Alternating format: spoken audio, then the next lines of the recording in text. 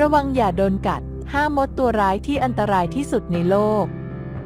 เชื่อว่าถ้าเลือกได้คงไม่มีใครอยากโดนมดกัดอยู่แล้ว ถ้าเป็นมดธรรมดาก็คงแค่รำคาญ แต่ถ้าตัวที่กัดไม่ใช่มดทั่วไปที่คุ้นเคยละคุณอาจจะเจ็บเจียนตายแบบที่ไม่รู้ตัวเลยก็ได้ วันนี้เราจะพาคุณไปทำความรู้จัก 5 อันดับมดตัวร้ายที่อันตรายที่สุดในโลก รับประกันความโหดแบบที่ไม่มีใครยอมใครถ้าพร้อมแล้วก็ตามไปบุกรังมดกันเลย มดคันไฟ invicta เหล็กในที่มีพิษคล้ายกับงู ได้โปรดมองข้ามหน้าตาที่ละม้ายคล้ายมดคันไฟแถวบ้านของมดคันไฟ invicta ไป เพราะความโหดนั้นบอกเลยว่าคนละเรื่องเจ้ามดคันไฟชนิดนี้มีถิ่นกำเนิดอยู่ที่ทวีปอเมริกาใต้อาวุธ ร้ายแรงของมดคันไฟตัวนี้คือเหล็กในที่มีพิษสะสมอยู่ซึ่งพิษที่ว่าก็คือสารแอลคาลอยด์กับโปรตีน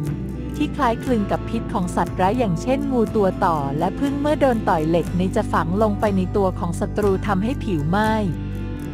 เกิดตุ่มหนองและมีอาการคันอย่างรุนแรง ยิ่งไปกว่านั้นเจ้ามดชนิดนี้นิยมสู้กันแบบแท็กทีม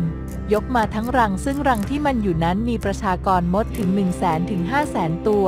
ที่สำคัญคือสามารถแพร่พันธุ์ได้รวดเร็วและจำนวนมาก เรียกได้ว่าพร้อมยกกองทัพไปบุกตีเมืองทำลายระบบนิเวศแถวนั้นให้ปั่นป่วนได้ภายในพริบตา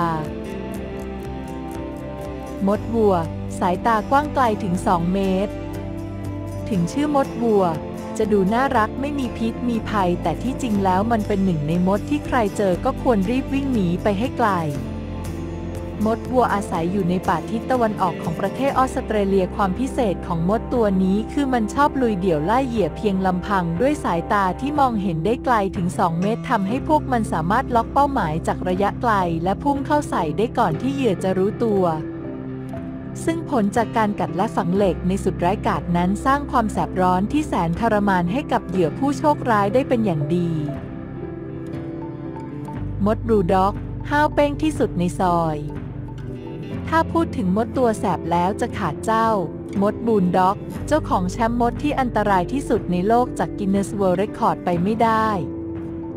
มด bulldog อาศัยอยู่ในประเทศออสเตรเลียจัดอยู่ในสายพันธุ์ pyriformis ลักษณะเด่น คือเป็นมดที่ตัวใหญ่ size jumbo เมื่อโตเต็มที่จะมีความยาวถึง 2 เซนติเมตรเลยทีเดียว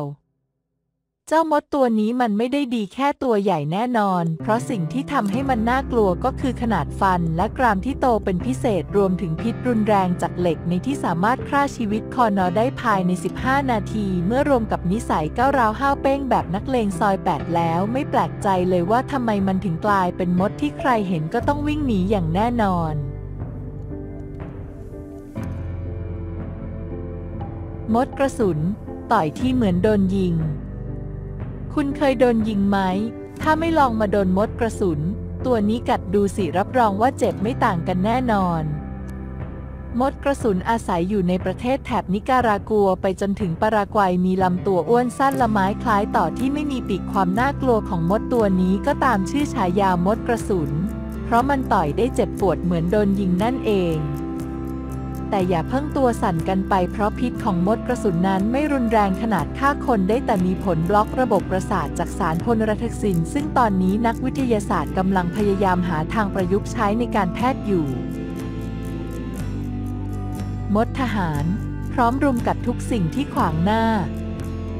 มดทหารพบได้มากในป่าฝนเขตร้อนแถบทวีปอเมริกากลางความโดดเด่นของมดตัวนี้คือขากรรไกรล่างที่ยาวและแหลมคมพร้อมที่จะฝังเขี้ยวลงไปทุกเมื่อที่คุณเพลอยิ่งในระหว่างที่มันกำลังเดินทางเพื่อสร้างรังใหม่ที่ใช้สำหรับตัวอ่อนนั้นหากใครเข้าไปขวางเส้นทาง พวกมันหลักก็ฝูงมดราวแสนตัวที่ถูกฝึกมาอย่างดี จะกรูกันออกมารุมกัดจนกระทั่งเหยื่อตัวนั้น